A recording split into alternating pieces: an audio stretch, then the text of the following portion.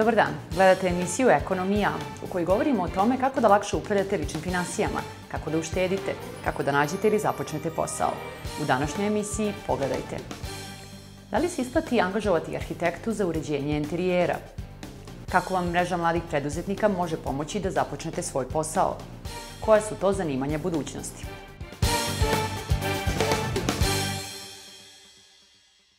Prostor u kome živimo i radimo ima veliki uticaj na naše raspoloženje. Zato mnogi preduzetnici angažuju stručnjake za uređenje interijera, a mnogi arhitekte su angažovane i za uređenje privatnih prostora. Da li je to skupo ili se ipak isplati, saznajte u sledećem prilogu.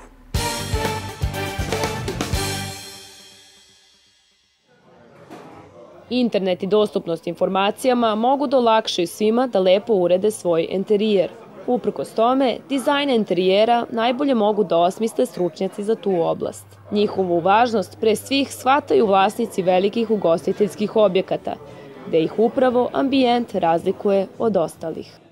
Posetioci koji dolaze u restorane vole da primete da se u tom prostoru vodi računa o njima i to baš putem toga što se ulaže u projekat interijera. Znači, ljudi se osjećaju prijatno, a, vole da sede u prostorima koji odišu nekom dobrom atmosferom, kada, u prostorima koji jednostavno a, imaju različite ambijente u kojima će se oni osjećati prijatno. A, sve je praktično podređeno njima. Sve veći broj ljudi svestan je da je angažovanje arhitekte dobro po njih bilo da pričamo o individualnim stambenim jedinicama ili o nekim poslovnim objektima. Krajnji rezultat zavisi pre svega od poverenja koje vam ukaže sam investitor. Postoji svest da je to potrebno, ali često se dešava da investitori dolaze sa već napravljenom slikom u glavi koju pokušavaju E, da vama prezentuju kao jedino ispravno rešenje. Mi kao struka moramo da se ponašamo krajnje profesionalno i odgovorno i vrlo često e, tu nastane sukob mišljenja. Investitori koji ukažu poverenje profesionalizmu, oni na kraju dođu i do boljeg rezultata. Tako je Marko Milovanović još prilikom sastavljanja biznis plana zacrtao da će veliku svotu novca uložiti upravo u ambijent restorana. Trudimo se da budemo inovativni u svakom smislu, da napravimo nešto novo u Beogradu. S obzirom da smo pravili veliki lanac e, lokala, od starta smo planirali da napravimo lanac, o, tako smo angažovali dobre i poznate arhitekte da radim interijer lokala i sam dizajn uh, celokupnog lokala da bi mogli da napravimo neki brend prepoznatljiv. Jednostavno, kad se uđe kod nas u lokal, uvijek ima nešto prepoznatljivo uh, gde čovjek ne mora ni da zna da je kod nas u lokalu, ali po interijeru može da prepozna. Želje klijenata su na prvom mestu. Dizajneri klijentima mogu da ponude da biraju mnošto stilova, kao i da poštuju njihovu konačnu odluku ali čini se da je za uspešno poslovanje neophodno zatražiti pomoć stručnjaka. Mislim da u gradu kao što je Beograd, gde postoje veliki broj restorana gde je jako velika konkurencija i da se svakako ne štedi po pitanju ulaganja, da tu uh, uh, svakako nema mesta za neke improvizacije i, i ne znam, pokušaj da, da sam vlasnik krene. Imamo i te slučajeve, ali se to na kraju uvek pokaže kao, kao loše. Postoje interijeri, recimo neki ruralni, koji se tiču nekih uh, etnomotiva, da je moguće nekako stihijski doći do nekog cilja. A ono što mi pokušavamo da uradimo jeste upravo to, da pomognemo investitorima koji imaju neku jasnu viziju korišćenja prostora svog, na koji način oni to žele da urade, da to urade baš na kvalitetan način, jer oni imaju, imaju neki, neku ideju, viziju, biznis plan na koji način oni žele da to sve funkcioniše, ali ipak im treba savet stručnog lica kako da to nekako pretoče kroz materijale koje će da upotrebe kroz odabir nameštaja, vrste sedenja, rasvetu, nivo ozvučenja, jer sve to nekako zajednički čini jedan prostor kvalitetnim i samim tim za investitora koristan, korisnim. Iako dosta kaskamo za svetom kada je reč o arhitekturi, naši investitori imaju visoko razvijenu svest o dizajnu interijera i spremni su da ulože.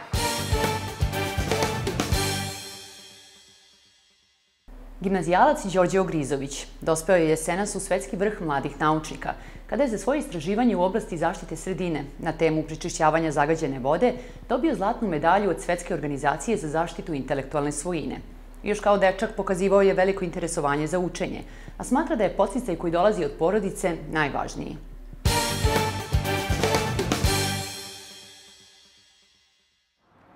Gimnazijalac Đorđe Ogrizović ušao je jesenas u svetski vrh mladih naučnika, kada je za istraživanje u oblasti životne sredine na temu prečišćavanja zagađene vode dobio zlatnu medalju od Svetske organizacije za zaštitu intelektualne svojine.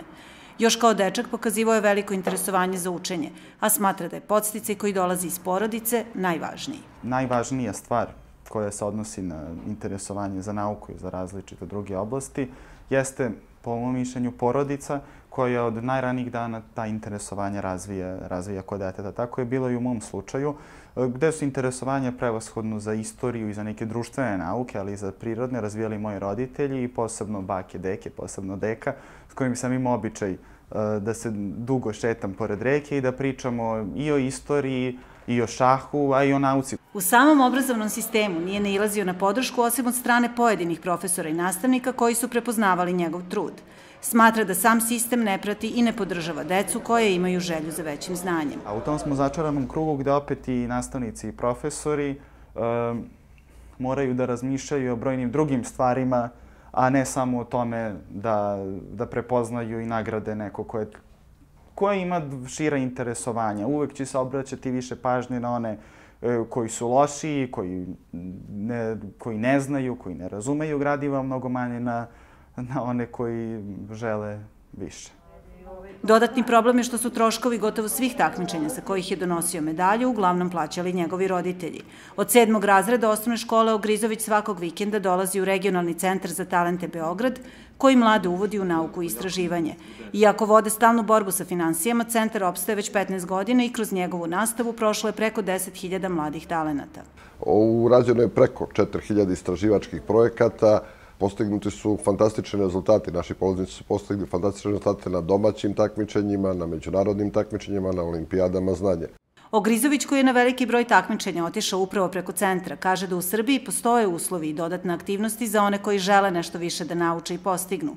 Ali smatra da se tome ne posvećuje pažnja ni u medijima, ni u školama, već se sve svodi na samu inicijativu. Ja se ne slažem sa tim kada čujem ja, pa ovdje nemam uslova da nešto uradim. Zavisi E, šta te interesuje. Za, za gimnazijski period, period tokom osnovne škole, stvarno imate različite aktivnosti, ali morate, ako imate sreće da vas neko uputi, ako ne, morate sami da vidite gde je centar šta radi, gde je petnica šta radi, gde su druge neke organizacije uh, takođe koje se time bave. Znači, sve se svodi na to da sami morate negde nešto da istražite. Sve do nedavno bio je siguran da će osnovne studije završiti u Beogradu, jer, kako kaže, voli Srbiju. Plan mu se promenio kada je tokom zimskog raspusta dobio priliku da poseti jedan od najprestižnijih američkih univerziteta i upozna drugačiji pristup i način rada. Tamo sam u razgovoru sa profesorima, takođe vidio šta sve imaju od uslova, šta sve rade odlučio da ću osnovne studije ipak završavati negde u inostranstvu. Verovatno ću onda i nastaviti, to je skoro sigurno ću nastaviti master i doktorske studije u inostranstvu. U budžetu za 2017. godinu za nauku i istraživanje izdvojena je svega 0,3 bruto domaćeg proizvoda, dok kvalitet obrazovanja godinama opada. Za to vreme pametna deca napuštaju ovu zemlju jer nemaju uslova da se razvijaju i uče, a Srbija treba podsjetiti po odlivu mozgova vodeća zemlja u svetu. Problem jeste što, kako je Slobodin Ivanović pisao, u Srbiji ima više poluintelektualaca nego intelektualaca i onda se u jednom takvom sistemu svako ko bi hteo više, ko bi želeo da nešto drugačije uradi, pa najbolje rečeno, nailazi na prepreke.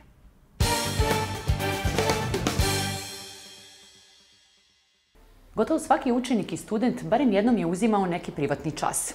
Pronalaženje profesora, dogovaranje i odlazak na časove ume da bude veoma komplikovano i oduzima previše vremena. Zato je nekoliko studenta građevine odlučilo da pomogne i sebi i kolegama. Pogledajte njihovu ideju.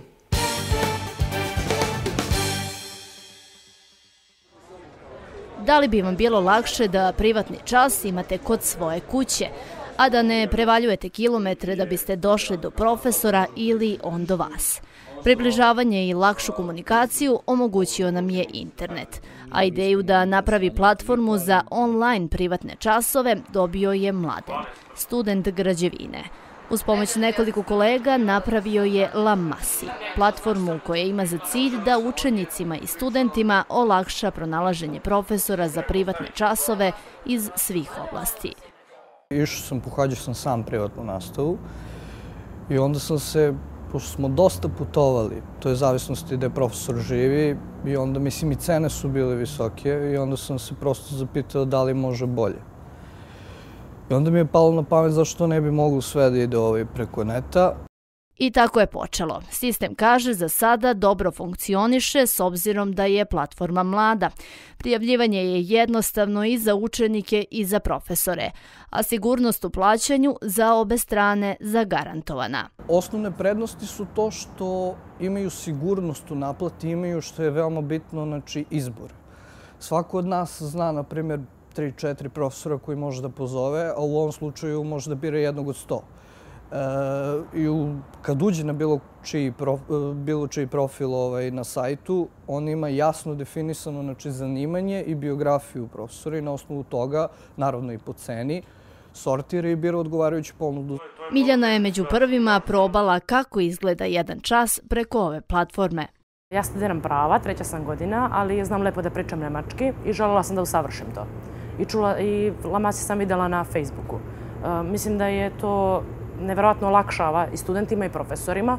Meni je prvenstveno olakšalo da sam imala prvu, prvu profesorku je bila, ona je bila na Bežani, a ja sam sa uh, bulevara. Sam odlazak sa jednog kraja grada na drugi je uh, trošenje vremena. Ovaj sad prvenstveno štedi vreme.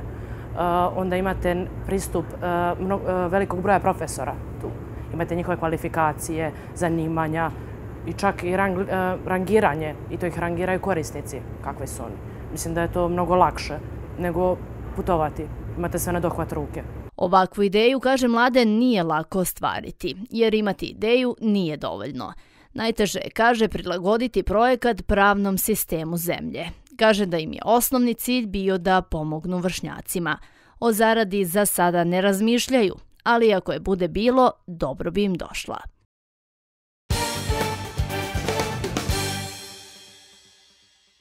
Ako imate ideju za vaš prvi samostalni biznis, a ne znate kako da uplovite u poslovne vode, pravo je vreme da se priključite mreži mladih preduzetnika. Reč je o udruženju mladih u kojem svoje znanje i veštine možete da unučite.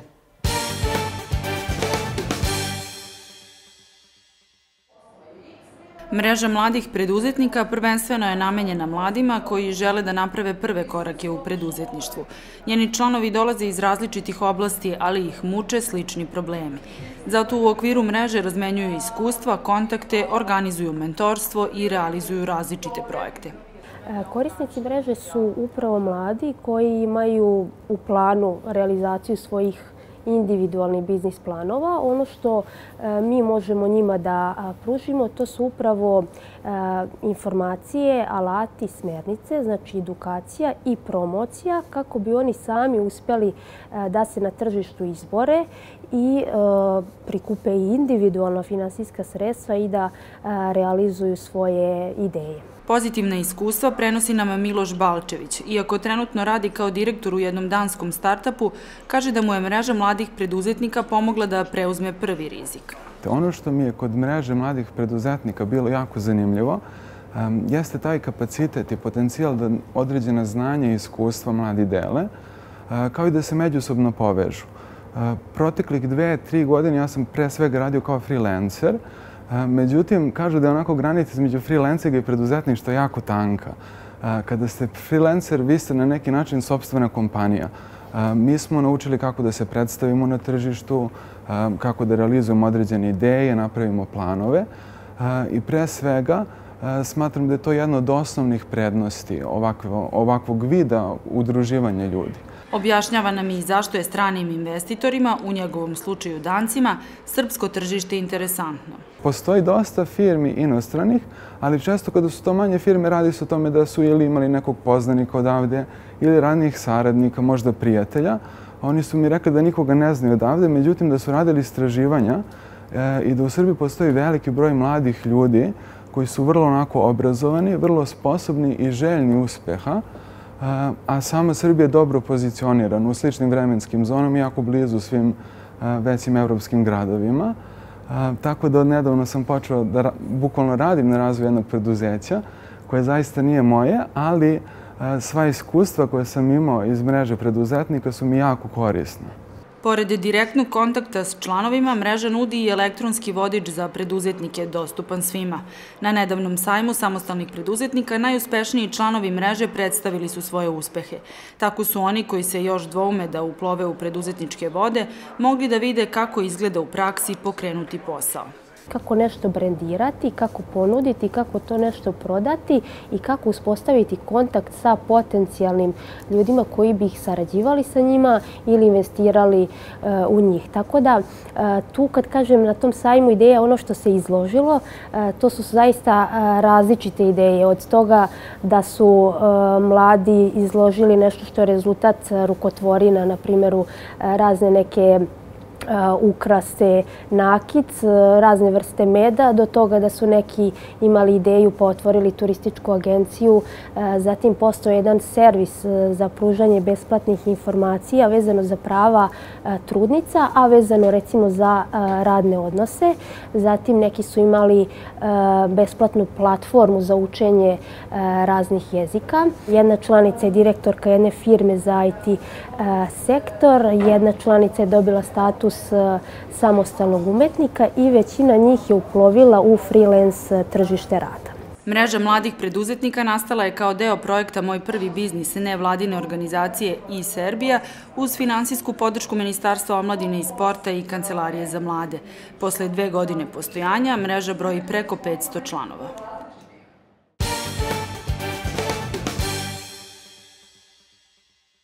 Prema poslednjim podacima Zavoda za statistiku, sve više parova odlučuje da stavi tačku na svoj brak.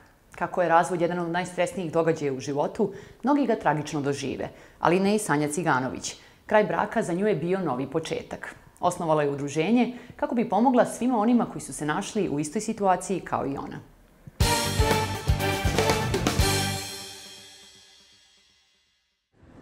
Nasilje, bolesti, zavisnosti i prevara najčešći su razlozi zbog kojih se ljudi odlučuju da okončaju svoj brak. Brak Dušice Stefanović prestao je pre 8 godina, kada je prestalo interesovanje partnera. Odluku o razvodu donela je u roku od nekoliko meseci. Ja sam je donela na osnovu svog osjećanja u tom, baš osjećanja. Ja sam jako bila tužna ove, i bila sam nesrećna u tom braku. Znači, prosto nije bilo ni jednog razloga da tako nešto dalje opstaje. Previše toga uh, se gutalo, previše toga sam prošla. U trenutku kada odluče da se odvoje od partnera, muškarci u proseku imaju 43, a žene 40 godina. U najvećem broju slučajeva majka je ta koja iz sudnice izlazi kao staratelj. Ali ne i dušica, kod nje je čerka, a kod oca sin. Bilo je teško objasniti im prvo to, kako, da, kako ćemo mi sad da se razvojimo, kako, na, kako sada nastaviti dalje život. To je prva teškoća sa kojom morate da se suočite. Prosto sam deci krenula u tom smeru i da objašnjavam šta to znači, da, da oni ne gube ni tatu ni mamu, da se ne razvode u stvari deca od roditelja, nego da se mama i tata prosto ne mogu više da nađu ni zajednički jezik. Razvod je bolan, a još bolniji kada imate decu, tvrdi Dušica. Zato je ona pomoć potražila u Savetovalištu za brak i porodicu, ali i u Udruženju samohranih roditelja. Teško je bilo i Sanji Ciganović, koja je nakon osam godina braka odlučila da na njega stavi tačku. Mene je moj razvod zaista pokrenuo na mnogo bolje nego što sam bila pre toga. Prvenstveno počela sam da pišem. Pisanje je bilo moj fantastičan ventil. Da svoje misli stavim u elektronski format, ne da bi to neko drugi čitao, nego da bih pustila da izađu iz mene. Kraj braka za nju je bio početak. Uz pomoć finansijske pomoći prijateljice, ali i zahvaljujući podršci onih koji su čitali njene priče, odlučila je da objavi knjigu. Znajući koliko je meni bilo teško zbog toga što nemam se kim da popijem kafu, što imam karte za pozorište, nemam se kim da odem. Baš zbog toga što su se javljale čitateljke koje su me podržavale da nastavim da pišem i da objavim knjigu, pojavila se ta moja želja da im ja to na neki način uzvratim. Tu se nije zaustavila. Ubrzo je osnovala neformalno savjetovalište gde utočište mogu da nađu svi koji su prošli kroz razvod, a da za to ne moraju da izdvoje novac. Ja nisam pravni subjekt, nisam advokat, nisam psiholog, psihoterapeut, postoje ljudi koji to rade i koji to naplaćuju. Povremeno preko Facebooka, odnosno moje grupe, zakažem kafu, e, pijemo kafu u četvrtak u 17 časova tu i tu i dođe kogod je raspoložen. Baš zbog toga što se to sve dešava u jednom neformalnom okruženju kafića, soka, čaja, pričamo ne samo o braku, ne samo o razvodu, pričamo o deci, pričamo o starosti, pričamo o roditeljima, o sportu, o kuvanju, sezoni zimnice, što god nam padne na pamet. I prosto malo po malo sagovornici i sagovornice se otvaraju u toj priči. Kaže da se nakon razvoda sve deli. Bračna posteljina, escajg, pa i prijatelji. Zbog toga je odlučila da pruži podršku onima koji su dosta toga delili i izgubili. Baš kao i ona.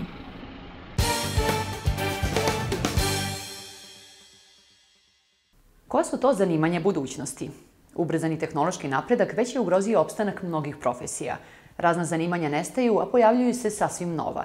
O tome kako se prilagoditi zahtevima tržišta govori Željka Marković, konsultant CV radionice.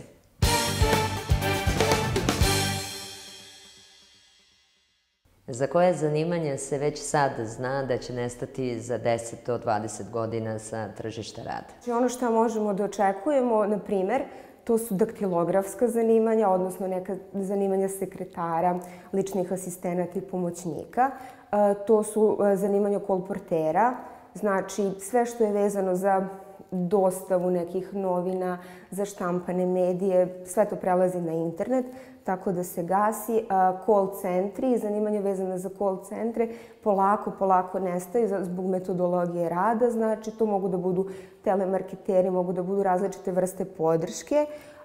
Ono gde imamo jako velike promene, to je privreda i poljoprivreda, znači automatizacija dovodi do uvođenja novih novih mašina i koje su onako brže, koje mogu zameniti ljude i ono što je jako bitno mogu smanjiti štetu koji, koji imaju poslodavci, tako da se manuelni radnici, pozicija manuelnih radnika smanjuje. Da li naš obrazovni sistem, koji nažalost i dalje zaostaje za razvojem tehnologije i društva, uspeva da pripremi decu za potpuno nova zanimanja? Ono što je po nekom mom skromnom mišljenju, problem našeg obrazovnog sistema je možda neki disbalans između otvorenih pozicija vezano za srednje škole i za fakultete potpuno nije, ne, ne pravim pitanje i pozicija koje se traže ovaj, na tržištu rada. Tako da, na primjer, mislim da bi u budućnosti bili bolji trendovi ako bi se tržište ispitalo i ako bi se možda u neku ruku napravio neki bolji plan šta to nama konkretno treba i u odnosu na broj potrebnih radnih mesta kreirala, kreirali obrazovni profili. Da li je suština priče o zanimanjima budućnosti da ljudi zapravo moraju da se usavršavaju, odnosno menjaju zanimanja i da prate šta se dešava na tržištu rada? Što se prilagođavanja tiče, isto je jako bitno da smo mi trenutno u vremenu kada svoje zanimanje ne biraju svršeni osnovci ili srednjoškolci, nego bukvalno biraju svi ljudi koji su u procesu rade, koji su, nije bitno u kom, na, na kom nivou svoje karijere. Znači, jedan srednjoškolac će se opredeliti za nešto što mu je trenutno možda zanimljivo ili u zavisnosti od svojih afiniteta izabraće određenu poziciju, ali isto tako osoba koja je možda uh, na nekom uh, srednjem nivou svoje karijere posle možda nekih deseta godina i koja je došla u neku iskusniju fazu, isto mora da radi na sebi i da prati razvoj svoje pozicije. Znači ono što je bio ekonomista pre 30 godina, kao obrazovni profil nije ekonomista sada i prosto neće biti ekonomista za 10 godina. A ovi neki opšti indikatori utiču bukvalno na svaku profesiju, Tako da ono što nama preostaje bukvalno za sve ljude od 15 do 60, 75 godina je uh, konstantno učenje, aktivno učenje i skupljanje što većeg broja informacija. Da li se više orijentišemo na posao koji volimo ili na posao koji će nam doneti pristojan novac? Nažalost, e, mladi ljudi biraju ili jedno ili drugo, a samo se manji deo manji deo opredeljuje da napravi neki balans između želja mogućnosti, odnosno ljubavi prema poslu i možda neko, nekoj dobiti od istog. Ovaj, neki potpuno odgovor bi bio negde između. Znači, profesionalna orijentacija je jedan jako dobar instrument koji nama pokazuje ovaj, gde smo i koji su naši afiniteti. Vi prosto ne možete ići protiv nekih svojih osobina i protiv e, nekih svojih jačih strana koje možete kasnije samo da nadograđujete. Ali e, S druge strane, egzistencija je nešto što sve nas očekuje. Ono što je jako bitno da pronađemo sebe kako bismo mi taj posao obavljali za 10-15 godina. Bukvalno u svakoj poziciji e, postoji postoji napredak. Na primjer, možemo da uzmemo profesora srpskog jezika, da kažemo da je to neko sofisticirano zanimanje kod nas ili uopšte jezička zanimanja. Znači, neko je prosto, prosto želi, voli jezike, voli srpski jezik i književnost, ali kad završi taj fakultet, on je planirao da radi kao profesor u srednjoj školi posle nema. Znači, izaći iz nekog okvira u ovom na ovom konkretnom primjeru bi bilo šta ja mogu da uradim da svoju, da svoju profesiju prilagodim savremenim trendovima. Mogu da držim časove srpskog jezika, na primjer, strancima iz stranih kompanija. Mogu da propagiram srpsku kulturu i književnost kroz turizam. Mogu da vodim radionice e, mladima koji dolaze iz Evrope na neki kreativni drugačiji način i da opet tu neku svoju potrebu i ljubav prema određenoj profesiji zadovoljim na, na neki način. I da dođem do finansijske dobiti, što je na kraju krajeva onako prilično bitno. Hvala vam na razgovor. Hvala vama. Gledali ste emisiju Ekonomija. Nadamo se da smo vam dali korisne informacije i dobre savete. Svoje predloge o tome koje vas teme zanimaju možete nam slati na mail ekonomija.big.co.rs. Vidimo se i sledećeg ponedeljka u istom terminu.